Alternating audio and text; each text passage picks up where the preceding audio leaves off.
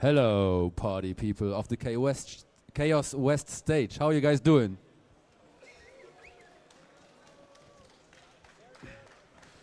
It is my honor to introduce to you a well-known man, known by the name of Dimi, who is presenting about a Android wallet, which has amazing features. Is that right, Dimi? Yes, that's right. Okay, Amazing. the floor is all yours. Thank you.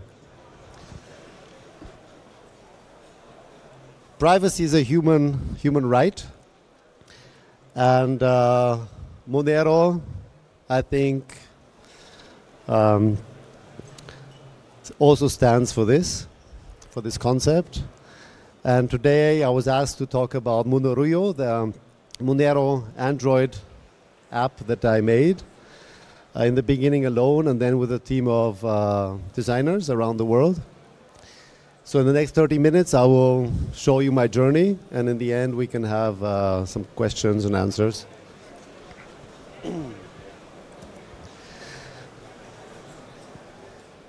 Open source software, I will be talking about. Uh, I have to press here as well. Okay. open source software, what tools we use, the wallet itself, what kind of conversations there are about it, uh, what security issues may or may not be in it. Uh, then we have some presentation about the team behind Monerujo so you can see the real people. And our newest feature, the XMR.TO integration with, uh, with which you can pay bitcoins directly from the wallet using only Monero.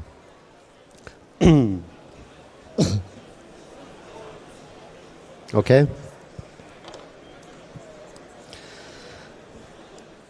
Floss, free Libre open source software. What does it mean for me? Well, it's free. It doesn't cost anything. It's open source. Everyone can look at it. Everyone can download the code, inspect it, see if they like it, see if they don't like it.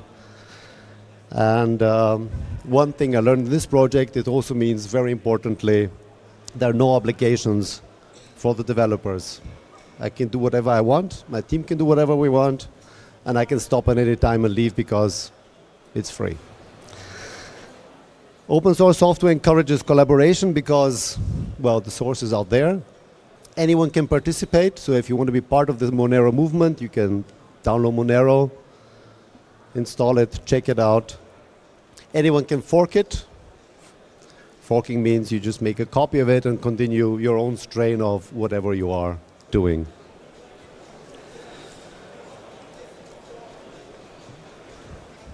I call this first part floss starting at zero because I had actually no previous experience with actually participating in an open source project. I have more than 30 years experience in software development and hardware development, but not, not, so, not so open. The first point I think is very important, and it's why I've managed to stay so long with this project. Let the project find you. Um, I started in this year, in the beginning of this year, looking at cryptocurrencies, what that's all about, researched for a month or so, and came up with, okay, Monero is me, and I am Monero. So I wanted to do have something there. The vision was, at that point, there was no, no mobile wallet for Monero, and the community simply needed one. So what do you want to change? And uh, why do you want to change it? You should just know these things, otherwise you won't be able to get very far, I think. The how just happens later on.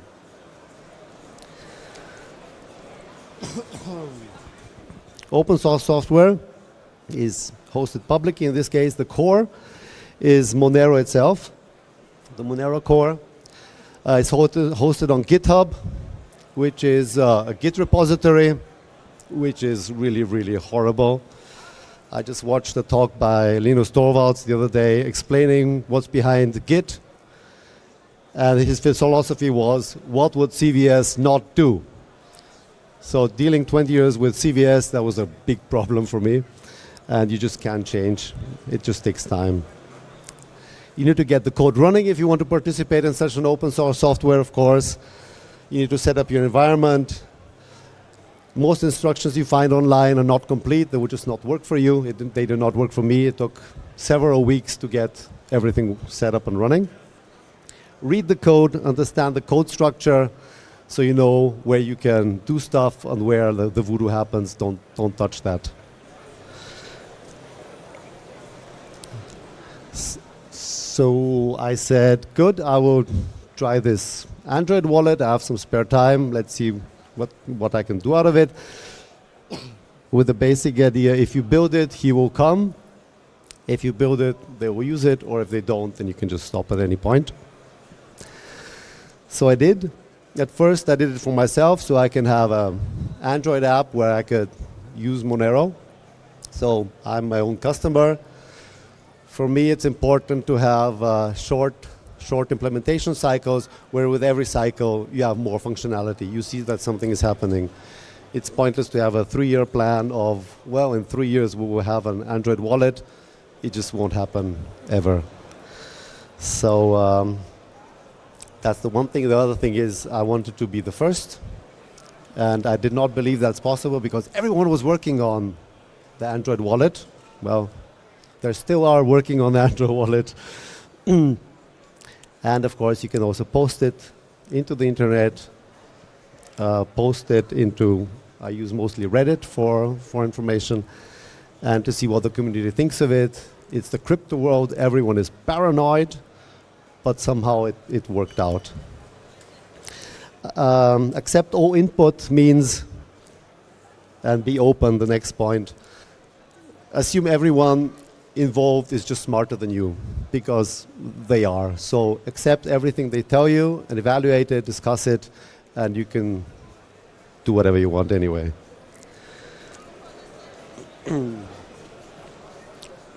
Try to avoid adding new functions for a cycle. So if you say, okay, well, I want to release every two weeks, decide, okay, what is it I want to release? What new function is there? Is it two weeks? Maybe it's three weeks, but just stick to the functions and don't say, oh, but this is also cool. I will add that. That's, uh, well, or you will never finish.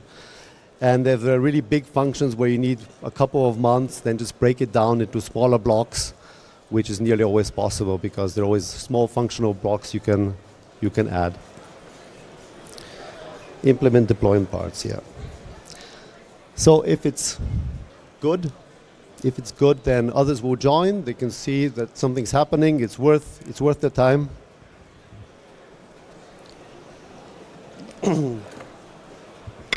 so others will join the project. They will either submit changes to GitHub, contact via email, Reddit, whatever.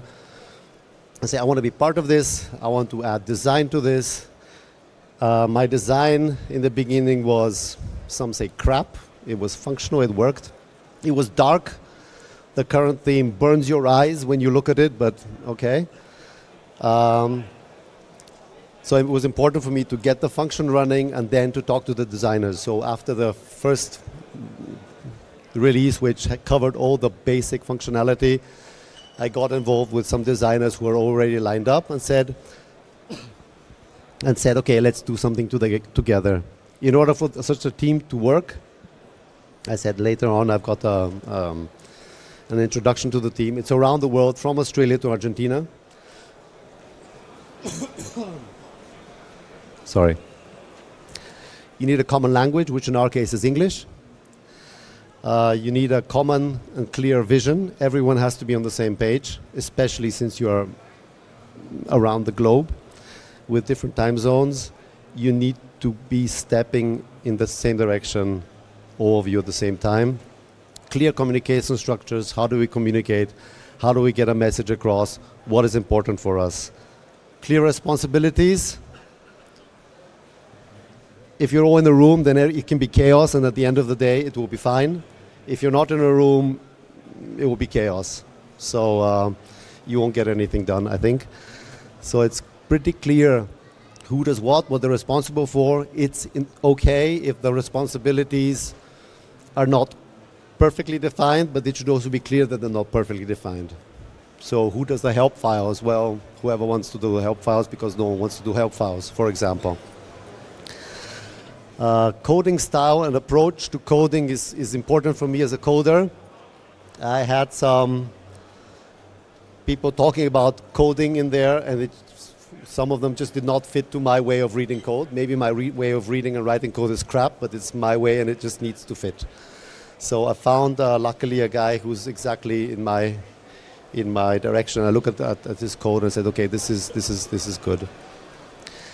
Also, of course, you need uh, task management, especially again if you're a diverse team. Uh, we use a Kanban system. I've got a couple of screenshots later how we use that. Then there's the fight, the war between designers and developers. I want the stuff to work. They want it to look good. So, um, and it's difficult to make it look good. So, what we've come to an understanding, which was from the beginning, is that the form follows the function. We want it to work, and it should look sexy in doing that.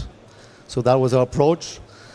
Uh, we had a couple of designs, and basically just mock ups of how the thing should look. I implemented it the way that I interpreted it. Uh, they were mostly different from what the mock ups were, but it was the idea of what it should look like, and that's what it looks like, and that that's what it does. So it's important to say what matters, what matters for the whole team, what is important for this project, and what is, what is not so important. And again, let the deadline dictate the scope. You've got a deadline in one week, there's no point in putting one month of, of work into it. It's okay, we'll do this now, and we can put the rest on the backlog. And uh, things disappear from the backlog mysteriously because it turns out they were not important in the first place. Not everything disappears. And then there's the support issue. I made a screenshot of a thing I got uh, a couple of days ago. I wanted to use, hello, I wanted to use your wallet to store my Monero. So I did. I can no longer access my wallet or see the balance. What am I supposed to do? What am I supposed to do? So of course you need to deal with, with these kind of support uh, things as well in a normal, cordial manner. Please give me more information. What what is it you want to be trying to do, and that kind of stuff. This should not be ignored. Of course, I can tell this person, well, don't use the wallet, but it's not the idea of, of the of the community. Okay, what tools do we use? Um, I have to use this. Tools. We have some collaboration tools. We use the Taiga, which is provided by the Monero project. There we do uh, Kanban tasks, which we shuffle around the team. The Taiga we use for, for uh, the project is a public Taiga, so anyone can actually see what's on our backlog, what are we working on, what's done, what is ready to be tested and we use Mattermost. It's a sort of like Slack or IRC or some communication thing, which we use a lot. Um, only only text and only typing, but of course posting screenshots and videos. So if I like change something, I like keep posting videos. What does it look like now? And they're like, this is too small, this is too big, it's not round, it's that kind of stuff. So it's pretty good, and you get immediate feedback code repository. Our code is also on GitHub. And for the design, we, we use a website called InVision where you could do mock-ups of, uh, of some of, of, um, of apps. I've got a screenshot soon. This is what the Taiga looks like if I press this button. Okay. Basically, you have tasks which short with a short description of what the task is um, for example, the second one up there is a dark theme, so you don't get blind every time you use the app. The second column is ready, in progress, ready for test, and done. And when you move the status, you just move the card across. You can also like ask questions and answers, and uh, basically everyone knows what, what's going on. The next uh, slide is how we design design the, the screens. This is a, a screen of what um, the XMR.TO integration looks like, or would have looked like if I had implemented it that way. it's pretty great because you see what colors are used. Uh, you can measure, you see the measurements of the screens, so you can try to approximate that, approximate that when you're implementing.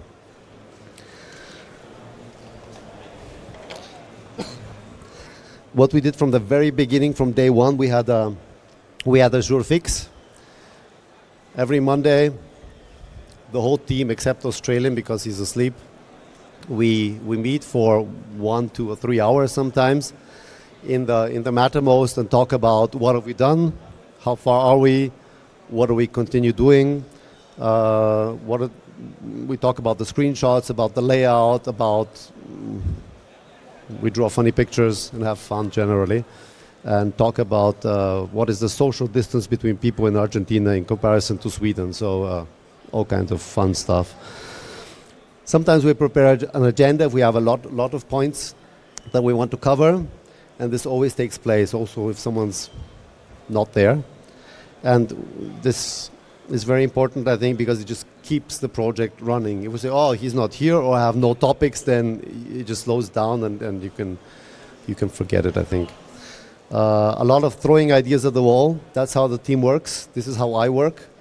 That's why I said we fit pretty well together. You just throw things out and people tell you to shut up or, oh, this is great, let's try it, try it uh, that way. Keyboard, I said we only type, we don't have any video stuff yet. I don't know if we need it. And a lot of screenshots, uh, painting on screenshots. This InVision actually allows you to uh, paint in, in the web interface, and the other uh, people um, that are also watching this see these changes. So it's uh, very, very interactive. okay, the wallet notice the fantastic, fantastic uh, guy with the Monero jacket there. He's called Gunter. He's Gunter from Argentina. It's not me. Someone asked me today, is it you? No, it's not me. I just wear him. Okay. Uh, technical challenges for the actual, well, wallet. Setting up an environment. I said that's sort of difficult. It's easy when you know how. So I've documented exactly what you have to do. Luckily, my hard disk crashed completely. Everything was lost. So I had to do everything from the beginning. So I documented that. I missed, of course, a couple of steps in the first round. So now, if you go to the GitHub repository, you can do it yourself, and it will probably not work for you. Compile the Monero code for Android. This had already been done. Uh, thank you, Hick and uh, a lot of, a lot, some compiling war warnings which you have to check, are they applicable, is it something important or is it just, well, uh, noise? And some errors there were as well to do with, uh, with the Android development kit that I was using. And the prerequisites, of course, a lot of projects have a lot of uh, dependencies and prerequisites, you need to get those compiled on the Android as well. The biggest problem here was the OpenSSL, which most people try to copy it from the phone and use the Google uh, libraries, uh, the Google source code for that. That did not work at all for me. I compiled it completely from, from source code. It turned out to be a matter of two hours, and uh, it's, it's fine.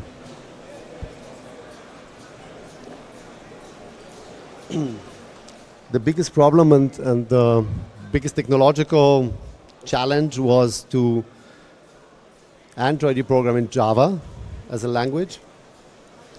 And the Monero code, the Monero core is a C, C++ DLL. And you need to connect those two. And that uh, does a lot of threading as well. So you need to use threading in both directions.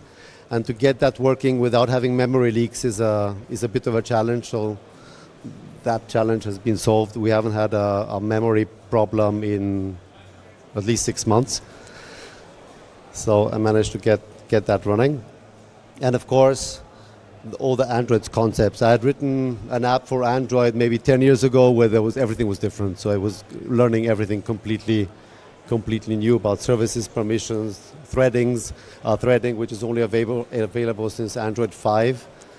So uh, that's why the lowest uh, Android support is Android 5.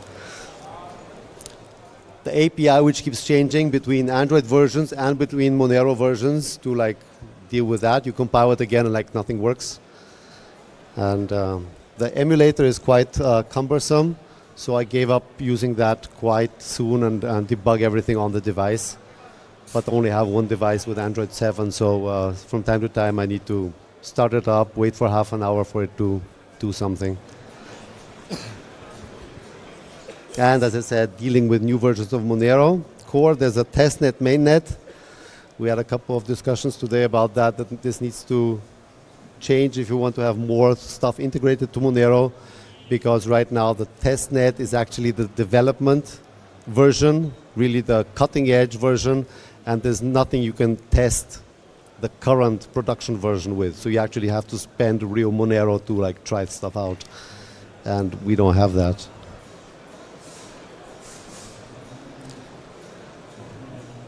Some security aspects which keep coming up in, in different Reddit threads and on GitHub as well.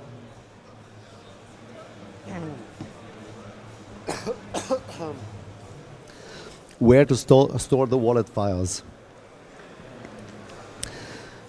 In Android, there's a sort of sandbox environment for every app, which is internal storage, if you will. And there's the external storage where every other app has access. So if you store the wallet files on the external storage, every other app has access, and people say, ooh, uh, every other app, app has access to my wallet files. Yes, they do. They also, every other app you have on your PC also has access to your wallet files. So um, there's that. If you store it on the internal storage, no other app has access to this internal storage, so you cannot back up your wallet files, for example.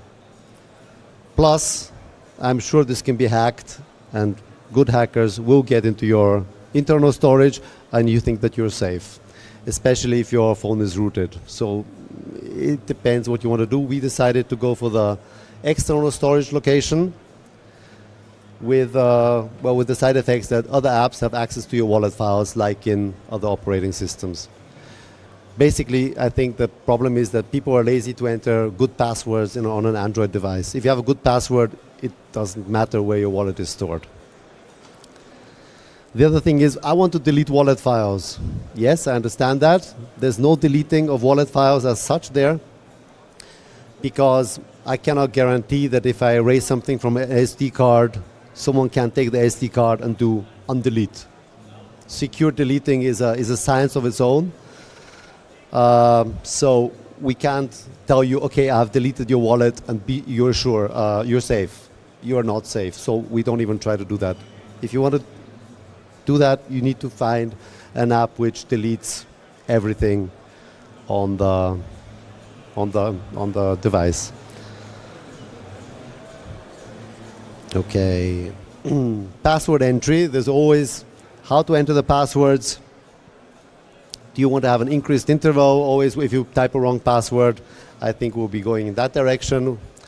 Uh, is there a, a, kill switch? Is there a password which deletes all your wallets? Again, we get into the delete problems because when the uh, TSA agents take off your phone and you type in the wrong password, they will take your SD card out and they will recover your, your wallet. So it, does, it doesn't really matter. Um, that's the destroying of the wallets, of course. Yeah. Then there's the fingerprint Fingerprint is on the next slide. We want to use fingerprints as passwords. We've also decided not to do that because uh, no one can, except Guantanamo, can get a password out of you. And a fingerprint, anyone with a knife has no problems in, in dealing with this problem. So uh, we are leaving it at a password. Just pick a good password and you will have no problems, I think.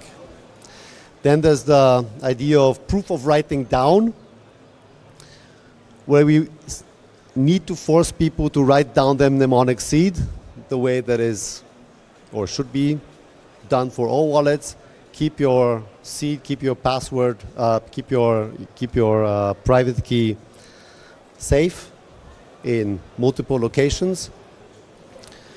And uh, we, the hardware wallets do that. They actually make you repeat the mnemonic seed after they have dictated it to you to make sure that, they, that you actually have this. We might do something like this, I don't know. We've prevented screenshots to prevent other apps just from screenshotting whatever you're doing on your phone. I understand that most banking apps, if not all banking apps, apps also do this for the same reasons. So we decided to do this as well. It's a bit of a bummer for support because I can't tell people, well, send me a screenshot of what doesn't work. So maybe we need to reevaluate this, this decision. Uh, some people are saying, oh, but you're using the exchange, exchange rate from Kraken, and that doesn't work well with Tor, and we want something else. Yes, uh, maybe we want to talk about this. Also, of course, as soon as you call up an exchange rate from somewhere, they know that you're doing something and they know where you're doing it from. So maybe if you're paranoid, don't exchange rate like this. And the TOR, Tor integration, uh, I've never tried it actually. I understand that it works in with Tor and VPN mode, so I don't think we'll be doing anything in that direction. Apart from that, Monero is doing its own Kovri, which is a secure secure um, transport layer anyway.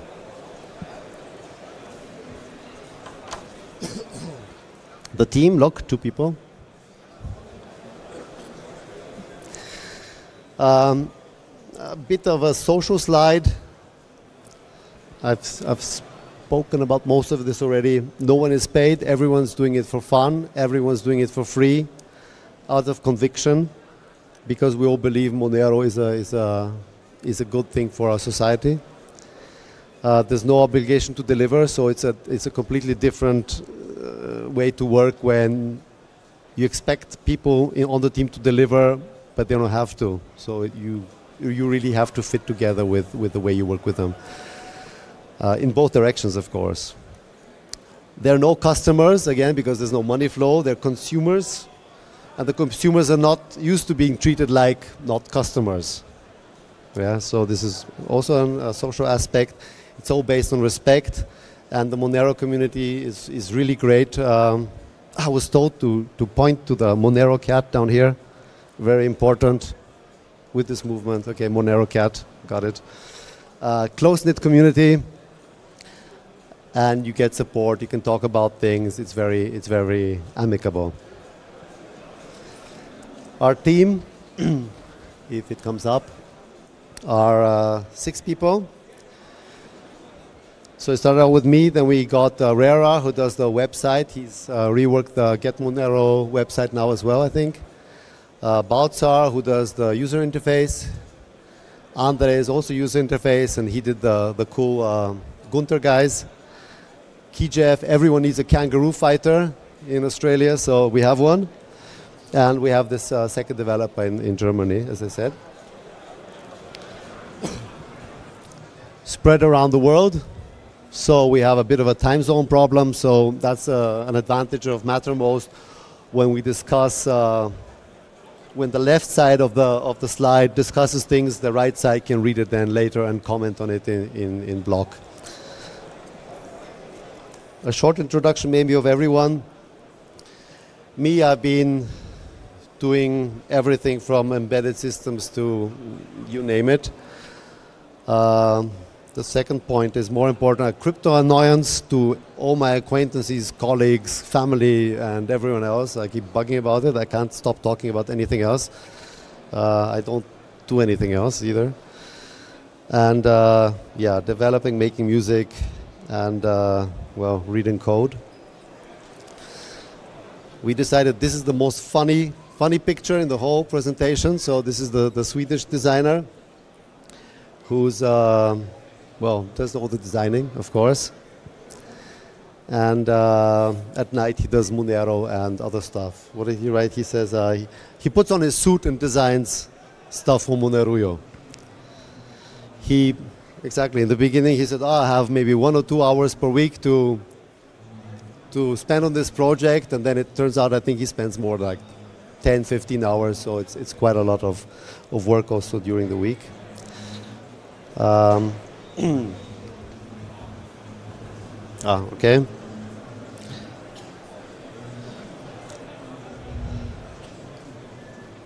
yeah, why Monero? I also asked everyone like, why why are we doing this? And basically, it's it's all the same reason that uh, it's political and social developments that that we want to support with this project.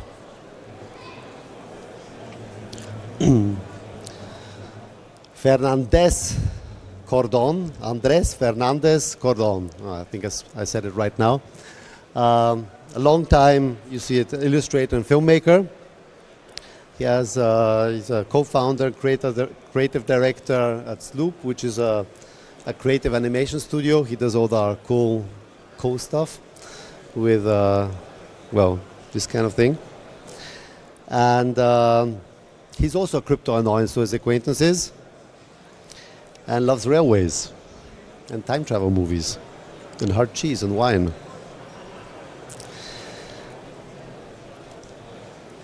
the why is he still why is he still with us? Because we immediately made him feel part of the team, and uh, it's just such a great great team to work to work with. I think his other statements here. I think lack of privacy leads to coercion. I dream of a world where incentives are so well implemented, there's no need for violence. Of course, this is utopia, but this is where we want to go and uh, Monero is a step in this in this direction. So that's why we're there. Key Jeff, who's uh, also does not only a, a kangaroo fighter but uh, also user user interface and help files, is still studying and he's helping us uh, well get our English straight because he's the only native speaker. Um, he was, I think, one of the first people who contacted me uh, to fix my English. And um, yeah.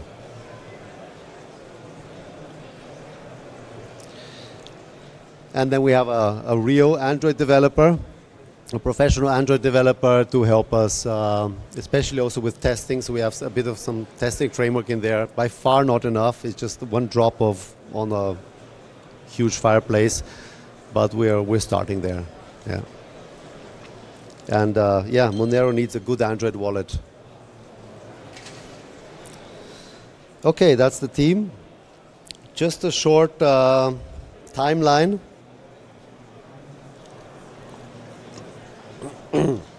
of our newest feature, maybe to understand the way that we we work. We had um, I, I looked up these dates. It's pretty fast. So 6th of November, we had our first uh, contact to the XMR.TO guys to say, okay, well, do we want to do this? How do we want to do this? Then uh, talk to this with my team. On the 9th of November, we said, okay, we'll do this. In order to do this, though, we had to restructure the whole sending workflow in order to convert. Uh, we had one screen where you could send Monero, and we needed a couple of things in order to send Monero because in, the, in between sending Monero and receiving Bitcoin, we needed to uh, access an online service, the XMR.TO, in order to get exchange rates and create orders and query orders and stuff like that. So you see from 9th of November to 15th of December is a long time, it's a month, but in between that, we restructured the send workflow and that was one update to the app. So it took two weeks, or maybe three weeks, I don't know now. And uh, we had already set a date. We wanted to present this at the Monero meetup in Vienna on the 15th of December. So after two weeks, we made one version with a new send flow, see if it works. It's pretty fantastic. And then two weeks later, we got this thing actually working, and we showed it to the guys at the Monero meetup with the XMR.TO integration. And now, a couple of days ago, we redid the, the user interface so it now looks really fantastic. And uh, since, well, since 24th, uh, since Christmas, we have it in a public beta, so everyone, anyone can register and uh, do stuff. I think that's it. And, and the, the logo is just really cool. Okay, this is the Mortal Kombat Gunther. So, and this is the, we'll code for XMR Gunther. Uh, yes, you had a question, but there's the microphone. I think is coming to you.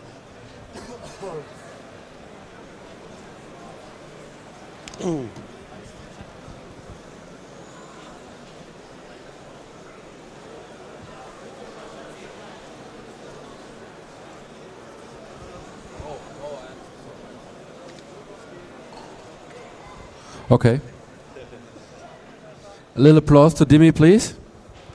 Well done. Thank you. Um, it has become a tradition that I first ask three questions to Dimi, and you just recap all the amazing input that you got, and then the QA is later. But let me be first. Is that okay? So this was about the Android app, and um, you have two UX developers, UX UI, and you have two real developers. Yeah. Ah, yes.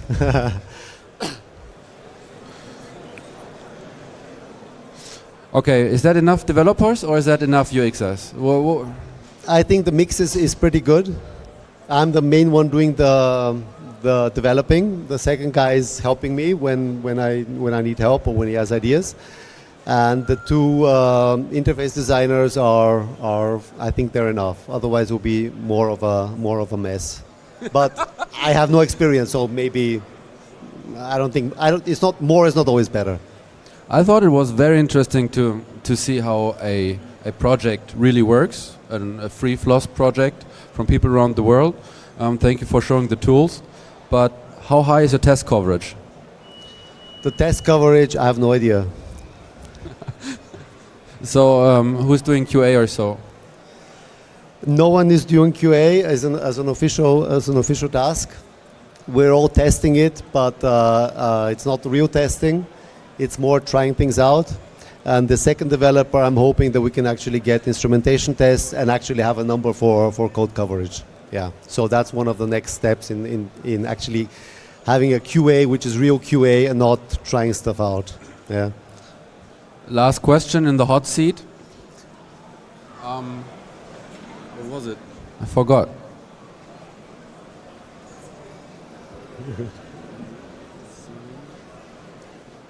Uh, where will I find you when I remember the question? I'm back there with the Monero guys. okay, then you're lucky. yeah, thank you. um, I will now go down to the stage with my microphone, and you come with your questions. You can also enter the stage, but be aware you will then be uh, on screen, and then maybe sometime ti uh, someday in the internet. But I, I, I saw some I saw some questions. Just just come here and join me, and ask Dimi your questions now.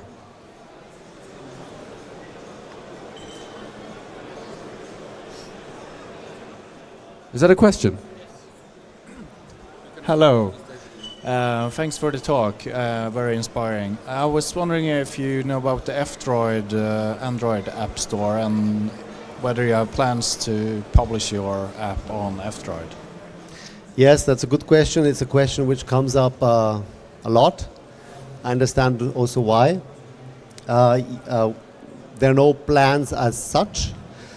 I tried to do it, but I gave up after a couple of hours when I could not get the F-Droid stuff running on my system and decided that functionality is more important than getting it on there.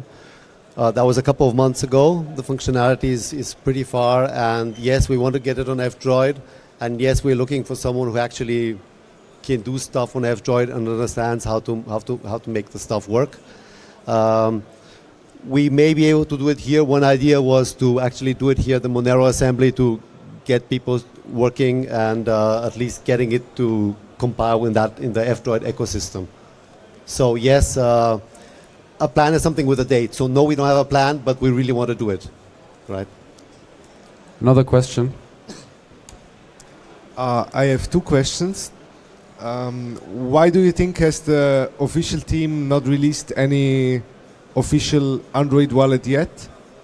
And the second question is, um, do you plan to support any real light wallet protocol like the Open Open Monero backend, which is uh, supporting real light wallets instead of remote using remote nodes?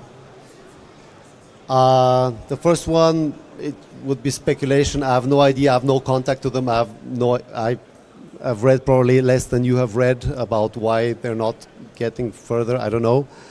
Um, the second question, integration to a, or talking to a light wallet, the, the protocol is completely different. The functionality is completely different. So no, we want to be a, a real standalone client where your keys are on your phone. You have wallet files which you can exchange with your PC. So the the wallet files you create on your PC or Mac or whatever you have, uh, Linux, you can actually copy them to your Android phone and they will work there just like they did on your PC. And that's where we want to stay. So it's a standalone thing. Yes, you need a remote node. Yes, the remote nodes are very flaky. They don't, well, mostly don't work a lot.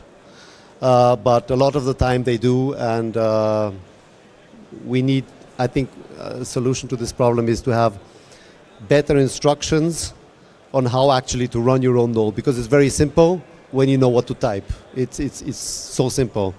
But I had a, a stupid conversation with uh, on Reddit, uh, no, on IRC, that there's no instructions how to run your node. So they sent me 20 links, but you have to combine these 20 links in a week to get the one command you need to run. So uh, maybe we can make that easier.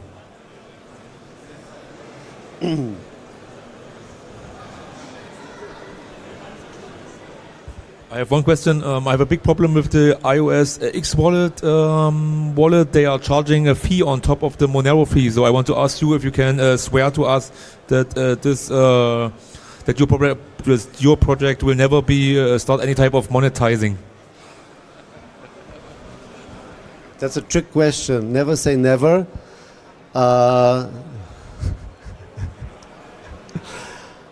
I don't want to answer that. No, I've never had the idea to do that. The idea is it will be free forever, but this might change in the future. I have absolutely no idea because I'll, yeah, I, yeah. There's no, there's no idea to, to actually monetize on this now. Okay, thank you very much, Dimi. Oh, some tough questions to answer.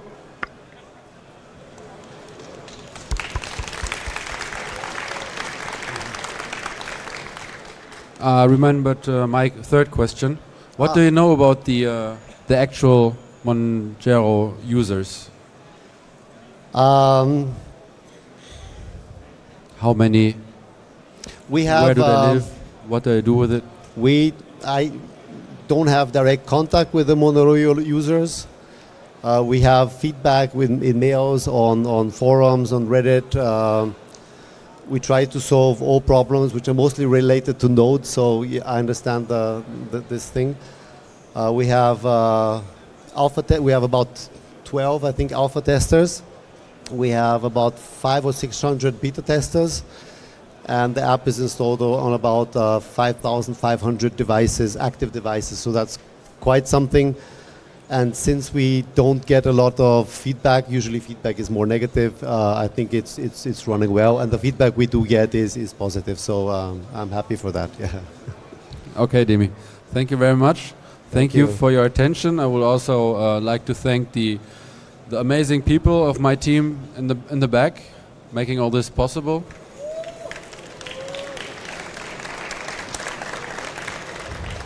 So when you're up here on stage and you you're put in the hot seat. Dimi is the fourth person who survived it. You may like me, you may not like me, but my team is more than happy to take your presentation, and then you can stand here just like Dimi and all the other great people. Um, show your project, show your love, and have a great time on the Congress. This stage is for us, it's for, for all of us on the Congress. So please send me or my, my team, or the team basically, um, your papers. I'm looking forward to it.